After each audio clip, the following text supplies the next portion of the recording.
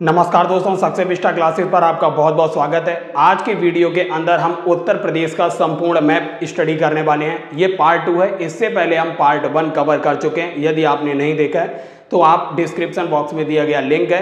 आप वहाँ जाकर उसको देख सकते हैं। तो आइए दोस्तों, शुरुआत करते हैं उत्तर प्रदेश स्पेशल जीके की। आज की वीडियो में हम पढ़ने वाले हैं नेपाल से उत्तर प्रदेश के कौन कौन से ज़िले नेपाल से सीमा साझा करते हैं और उत्तर प्रदेश की जनसंख्या से संबंधित आंकड़े देखने वाले हैं। और उत्तर प्रदेश की भौगोलिक स्थिति से आज हम देखेंगे। और पश्चिम बिहार उत्तर प्रदेश में कई बार आपके एग्ज़ाम में लगातार पूछे गए हैं। वन्य जीव विहार भी देखेंगे और बहुउद्देशीय नदी घाटी परियोजनाएँ देखेंगे और बाँध भी देखेंगे। और बहुत सारी अनुसंधान केंद्र, रिसर्च इंस्टीट्यूट उत्तर प्रदेश के अंदर हैं जो आपसे लगातार परीक्षा में पूछे जा रहे हैं, उनको भी देखेंगे।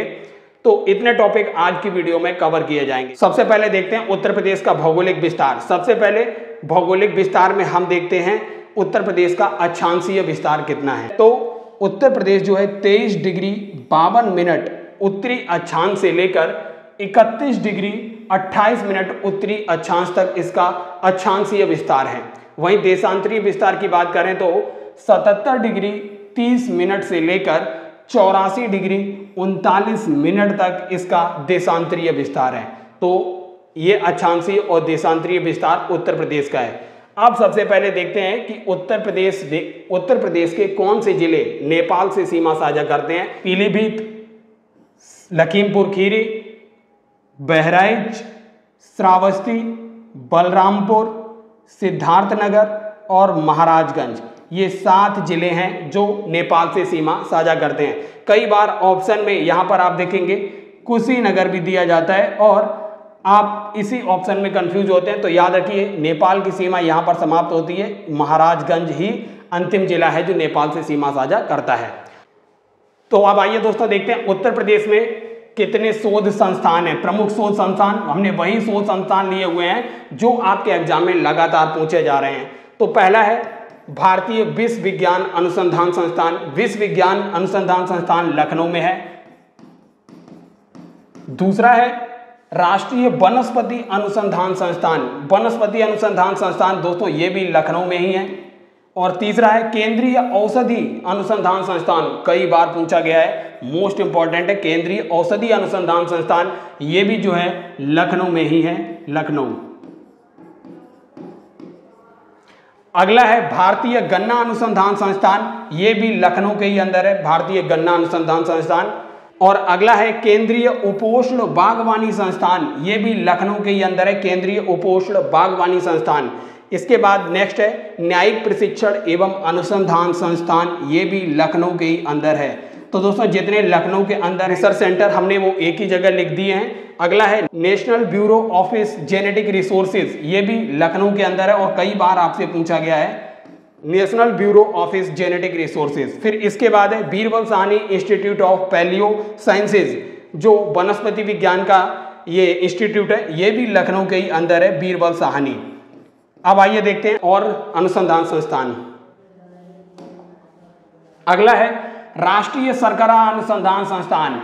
ये राष्ट्रीय सरकरा अनुसंधान संस्थान जो है, ये कानपुर के अंदर है, कानपुर। इसके बाद है भारतीय दलहन अनुसंधान संस्थान, ये भी कानपुर के अंदर है। भारतीय दलहन अनुसंधान संस्थान, भारतीय पशु चिकित्सा अनुसंधान संस्थान इज़्ज़त नगर बरेली में है। इज़्ज़त नगर इज़्ज़त नगर में है ये बरेली। इज़्ज़त नगर में है भारतीय पशु चिकित्सा अनुसंधान और केंद्रीय पक्षी अनुसंधान संस्थान, ये भी इज़्ज़त नगर बरेली के ही अंदर है। इज़्ज़त नगर बरेली के अंदर है। तो ये दोनों पशु चिकित्सा अनुसंधान और पक्षी अनुसंधान संस्थान जो हैं, दोनों इज़्ज़त नगर बरेली के ही अंदर हैं। अगला है Indian institute of vegetable research. Vegetable जो सब्जियों से संबंधित रिसर्च होता है, वो वाराणसी में होता है। तो याद रखिए, ये वाराणसी में है।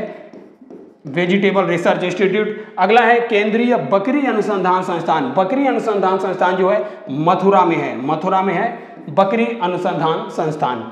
अगला है central pulp and paper research institute, most important है, कई बार पूछा गया है, central pulp and paper research institute है, सहारनपुर, जो उत्तर प्रदेश का सबसे उत्तरी जिला है, सहारनपुर, यहाँ पर है, central pulp and paper research institute. अगला है, भारतीय कालीन प्रौद्योगिकी संस्थान, दोस्तों, कई बार पूछा गया है, मोस्ट इंपॉर्टेंट है, भारतीय कालीन प्रौद्योगिकी संस्थान, ये भदोई जो कि वाराणसी के पास में ही है भदोई में है, राष्ट्र भारतीय कालीन प्रौद्योगिकी संस्थान। तो इतने संस्थान जो हैं, आपसे उत्तर प्रदेश के एग्ज़ाम में पूछे जाते हैं। तो एक बार फिर रिवीजन कर दें। सबसे पहले भारतीय विश्व भारतीय विश्व विज्ञान अनुसंधान संस्थान लखनऊ, राष्ट्रीय वनस्पति अनुसंधान संस्थान लखनऊ, केंद्रीय औषधि अनुसंधान संस्थान ये भी लखनऊ में है, और भारतीय गन्ना अनुसंधान संस्थान लखनऊ के अंदर है, और केंद्रीय उपोष्ण बागवानी संस्थान लखनऊ के अंदर है। न्यायिक प्रशिक्षण एवं अनुसंधान संस्थान ये भी लखनऊ में है, और national bureau office genetic resources Lucknow के अंदर है, और Birbal Sahni institute of palaeo sciences ये भी लखनऊ के अंदर है। अगला है राष्ट्रीय सरकरा अनुसंधान कानपुर के अंदर है। भारतीय दलहन अनुसंधान कानपुर के अंदर है। दोनों बहुत इंपॉर्टेंट है मोस्ट इंपॉर्टेंट है। और भारतीय पशु चिकित्सा अनुसंधान इज़्ज़त नगर बरेली में है। और केंद्रीय पक्षी अनुसंधान, ये भी दोनों मोस्ट इंपॉर्टेंट है। कई बार एग्ज़ाम में पूछे गए Indian institute of vegetable research Varanasi में मोस्ट इंपॉर्टेंट है। और केंद्रीय बकरी अनुसंधान संस्थान मथुरा में central pulp and paper research institute Saharanpur में भारतीय कालीन प्रौद्योगिकी संस्थान भदोई में है। कई बार ये पूछा गया है। तो दोस्तों, हमने यहाँ पर वही लिए हैं जो आपके एग्ज़ाम में लगातार रिपीट होते रहे हैं। अब आइए देखते हैं अगला। अगला टॉपिक है जनसंख्या के आंकड़े उत्तर प्रदेश। दोस्तों, ये 2011 की जो जनगणना हुई थी, उसके आंकड़े हैं, क्योंकि 2021-22 के आंकड़े अभी जारी नहीं किए गए। तो सबसे पहले देखते हैं जनसंख्या। अब देखते हैं उत्तर प्रदेश की जनसंख्या कितनी थी 2011 के अनुसार। आंकड़े जो हैं उनको देखते हैं सकल जनसंख्या टोटल जनसंख्या जो है 19 करोड़ अट्ठानवे लाख बारह हज़ार तीन सौ इकतालीस टोटल जनसंख्या थी उत्तर प्रदेश की। और ये बिल्कुल एग्जैक्ट डेटा आपके यूपी के कई एग्ज़ाम में दिया गया था। तो याद रखिए 19 करोड़ अट्ठानवे लाख बारह हज़ार तीन सौ इकतालीस दो हज़ार ग्यारह के डेटा के अनुसार उत्तर प्रदेश की जनसंख्या है। भारत की जो कुल जनसंख्या है, उसका सोलह दशमलव पाँच प्रतिशत जनसंख्या उत्तर प्रदेश में निवास करती है। कई बार पूछा गया है मोस्ट इंपॉर्टेंट है। अगला है, महिलाएँ जो हैं उत्तर प्रदेश में नौ करोड़ तिरपन लाख इकतीस हज़ार आठ सौ इकतीस महिलाओं की संख्या है और पुरुषों की संख्या है दस करोड़ चवालीस लाख अस्सी हज़ार पाँच सौ दस। दोस्तों, उत्तर प्रदेश में जो लिंगा अनुपात है, लिंग अनुपात स्त्री और पुरुष का 912 प्रत्येक एक हज़ार पुरुषों पर 912 स्त्रियाँ हैं। जनसंख्या घनत्व तो उत्तर प्रदेश का जो है आठ सौ उनतीस प्रति वर्ग किलोमीटर है। और ये कई बार आपसे एग्ज़ाम में पूछा गया है, मोस्ट इंपॉर्टेंट है, उत्तर प्रदेश का जो घनत्व तो है, जनसंख्या घनत्व तो आठ प्रति वर्ग किलोमीटर है। जनसंख्या में दशकीय वृद्धि दर जो है उत्तर प्रदेश के अंदर बीस दशमलव दो प्रतिशत है। और कई बार ये एग्ज़ाम में पूछा है, उत्तर प्रदेश में जो जनसंख्या जनसंख्या दशकीय वृद्धि दर है, बीस दशमलव दो प्रतिशत है। अगला है, शहरी जनसंख्या जो है, बाईस दशमलव तीन प्रतिशत है। उत्तर प्रदेश में जो शहर में रहने वाली जनसंख्या है, वो बाईस दशमलव तीन प्रतिशत जनसंख्या है। और गाँव में रहने वाली जनसंख्या का प्रतिशत सतहत्तर दशमलव सात प्रतिशत जनसंख्या जो है, गाँव में निवास करती है। तेंदुलकर समिति जो गरीबी को मापन करती है, उस समिति के अनुसार गरीबी रेखा के नीचे जीवन यापन करने वाली जो जनसंख्या है उत्तर प्रदेश में, वो उनतीस दशमलव चार तीन प्रतिशत है। ये कई बार पूछा गया है। तेंदुलकर समिति के अनुसार यूपी में जो गरीबी रेखा से नीचे जीवन यापन करने वाली जनसंख्या का प्रतिशत है, उनतीस दशमलव चार तीन प्रतिशत है। अब आइए दोस्तों देखते हैं, उत्तर प्रदेश में जो लिटरेसी रेट है, साक्षरता दर है, उत्तर प्रदेश की सड़सठ दशमलव सात प्रतिशत sixty seven point seven percent है। वहीं पुरुष की साक्षरता दर जो है, सतहत्तर दशमलव तीन प्रतिशत है और स्त्रियों की साक्षरता दर जो है, सत्तावन दशमलव दो प्रतिशत है। वहीं आप देखेंगे, नगरीय साक्षरता दर की अगर बात करें, ये तो कुल साक्षरता दर थी। फिर हमने साक्षरता दर को नगरीय और ग्रामीण में विभाजित किया है। जो नगरीय साक्षरता दर है वो पचहत्तर दशमलव एक प्रतिशत है।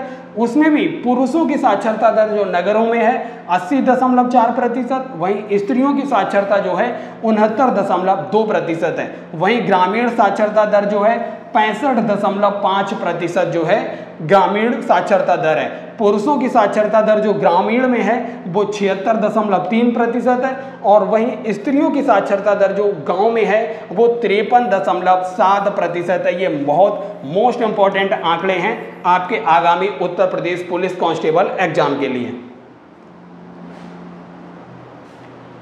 अब आइए दोस्तों देखते हैं, उत्तर प्रदेश के पक्षी वन्य जीव विहार देखते हैं। ये काफ़ी इंपॉर्टेंट है, आपसे एग्ज़ाम में पूछे जाते हैं। सबसे पहले देखते हैं, शहीद चंद्रशेखर आज़ाद पक्षी वन्य जीव विहार। नवाबगंज पक्षी विहार के नाम से भी इसको जाना जाता है। उन्नीस सौ चौरासी ईस्वी में स्थापित हुआ था और उन्नाव उन्नाव डिस्ट्रिक्ट जो है, वहाँ पर है ये नवाबगंज पक्षी विहार या शहीद चंद्रशेखर आज़ाद पक्षी विहार। और इसका क्षेत्रफल सवा दो वर्ग किलोमीटर है। वहीं आप देखेंगे समसपुर। समसपुर पक्षी विहार जो है, उन्नीस में स्थापित किया जाता है और रायबरेली डिस्ट्रिक्ट में ये है। 7.99 वर्ग किलोमीटर इसका क्षेत्रफल है। वहीं देखेंगे लाख बहुसी पक्षी विहार काफ़ी इंपॉर्टेंट है। लाख बहुसी कन्नौज में है ये 1988 में स्थापित होता है और 80.24 इसका क्षेत्रफल है। आप देखेंगे ओखला ओखला पक्षी ओखला पक्षी वन्य जीव विहार जो है, गौतम बुद्ध नगर 1990 में स्थापित होता है। ये गौतम बुद्ध नगर में है और चार वर्ग किलोमीटर इसका क्षेत्रफल है।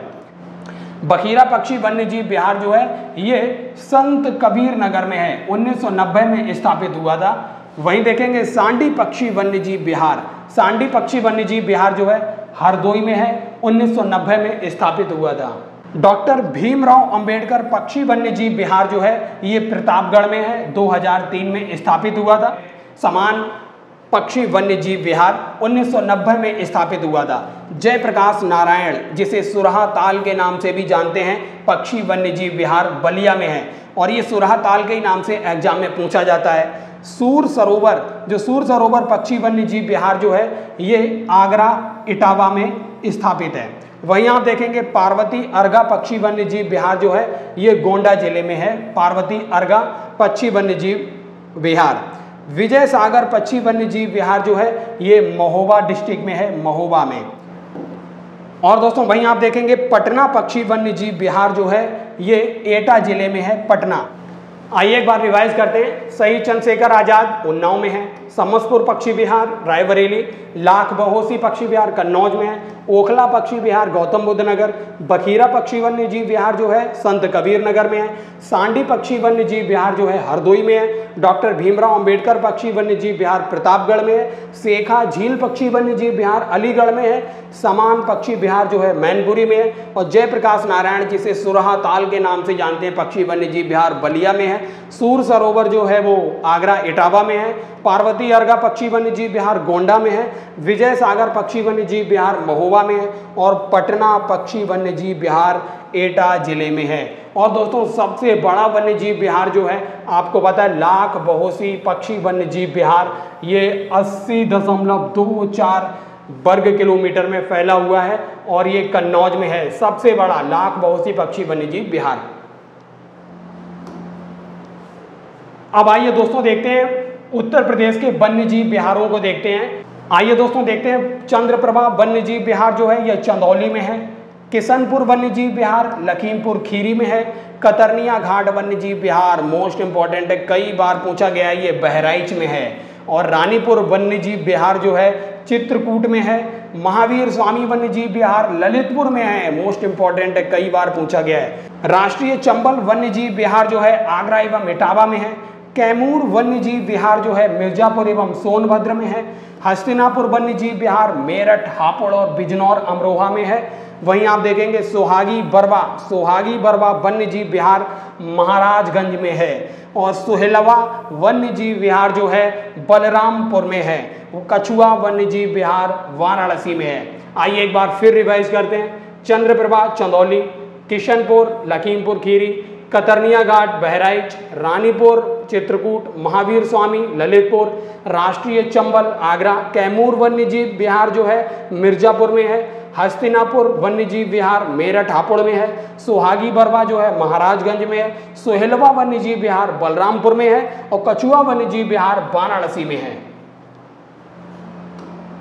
अब आइए दोस्तों देखते हैं उत्तर प्रदेश की जल विद्युत परियोजनाएँ देखते हैं। सबसे पहले देखिए, खारा जल विद्युत परियोजना असन नदी पर है, सहारनपुर में। खारा। दोस्तों, माता टीला जल विद्युत परियोजना जो है, बेतवा नदी पर ललितपुर में है। वहीं आप देखेंगे, निर्गजनी चित्रौरा जिसे ऊपरी गंगा नहर पर बनी हुई है, ये गंगा नदी के किनारे मुजफ्फरनगर में ये जल विद्युत परियोजना है। सलवा या भोला, ऊपरी गंगा नहर में ये भी है, गंगा नदी पर। मेरठ।